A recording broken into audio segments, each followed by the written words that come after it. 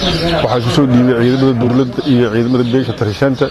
Cabdi xasan ibraahin oo ka mid ahaa horjoogayaasha al-shabaab ayaa isku soo dhiibay giligkii dambe ee maanta ciidanka dib u xureynta deegaanka iyo kuwa dowladda federaalk soomaaliya ee ku sugan deegaanka tarashante ee dhaca koonfurta beledweyne. Horjooga cabdi xasan ayaa al-shabaab u qaabilsanaa dhanka gaadiidka. Waxa uu ka mid ahaa shabaab muddo toddoba sano ah jabka al-shabaab ka soo gaaray dagaaladii hiiraan iyo ficilada guracan oo shabaabka ay u geysteen dadka reer hiiraan ayuu xusay inay ku kaliftay inuu ka tanaasulo fikirkii kooxda xagjirnimada ee al-shabaab.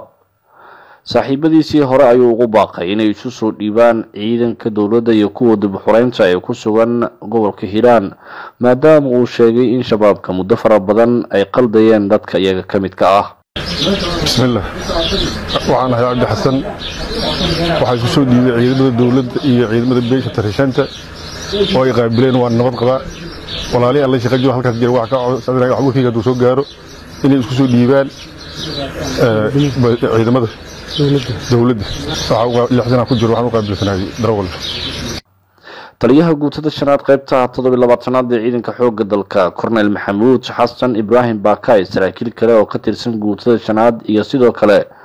Saraakiil ka mid a ciidanka dib xureynta deegaanka ayaa dhankooda warbaahinta la hadlay. Waxa ay ballan qaadeen in askarta iyo horjoogayaasha shabaabka ay sidan si lamida u soo dhoweyn doonaan. Waxaayna soo dhoweeyeen horjooge cabdi xasan ibraahim bismillahi raxmaan raxiim waa mahadsan tahay bahda saxaafadda waxaan ku sugannahay deegaanka tarajante.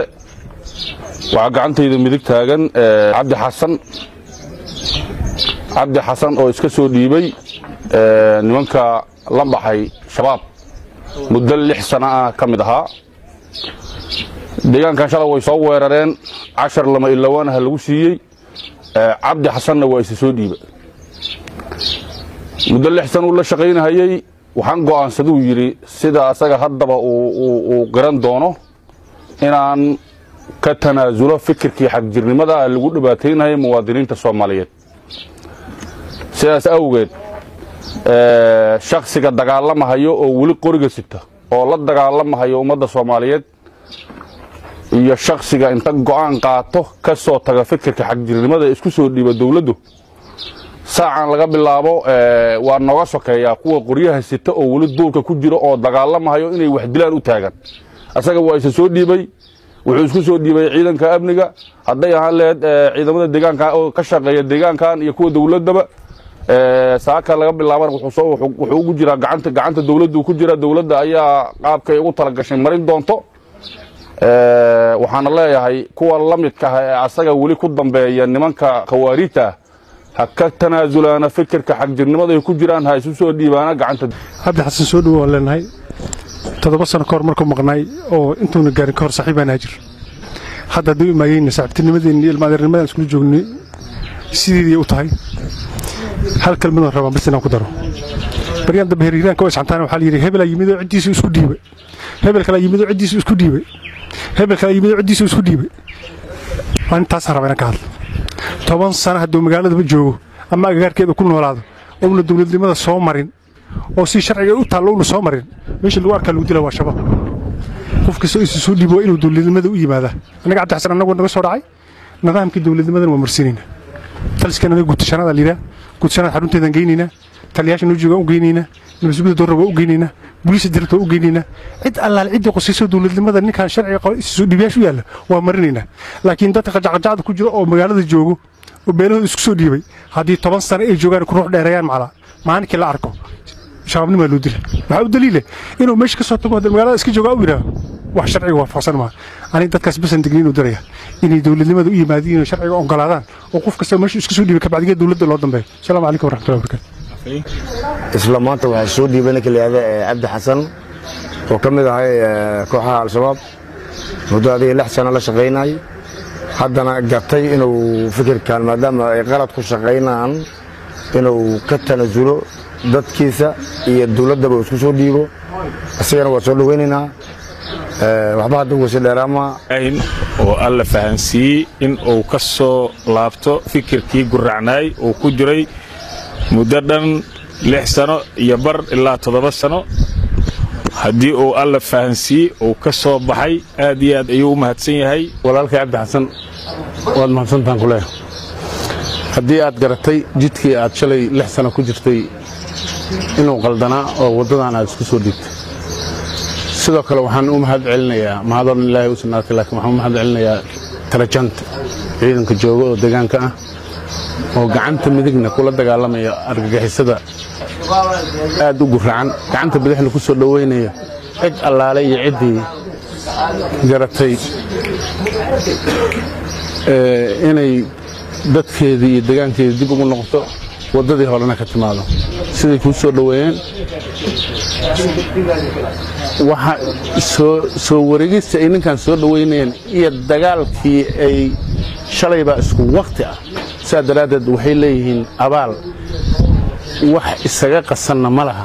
Reer tirshanka waa mahadsan yihiinaan leeyahay. Wixii hadda ka bilowdo cabdi xasan wuxuu marayaa broseeska qaranku uu u dejiyey. Waana soo dhowaynaynaa inta kale ee maqan ee waxmagaradku uu ka saa'id caleeya waxaan leenahay imaada walaalayaal. Ku quus qaata walaalihiinna hore u yimid. Soo dhowaada. Dadkiinna iyo dadkiinna u soo noqda taniyo markii uu bilowday dagaalka ka dhanka ah al-shabaab ee hiiraan inta badan looga saaray waxaa isi soo dhiibaya ciidamo iyo sidoo kale horjoogayaal shabaab ka tirsan kuwaas oo ay ka turjumayso isi sii dhuubitaankooda inuu dhacay gobolkii kooxda al-shabaab. Maxamed ibraahim siyaad. Kooda aan noo qormay oo sugna taariikh leh sabinaa wareegaya indhaha sulufki duugaayay subaxaan sabuuradda saxda ahaa la soo suray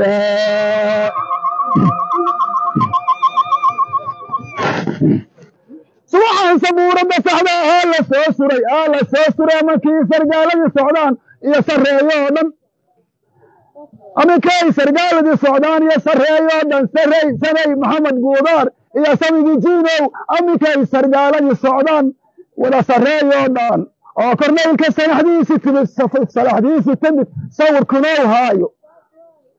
Oo sanatar oo sanatarkii guud yimiday subaxan oo joogo. Suuqi boosareerina tahay sabartay laabteyda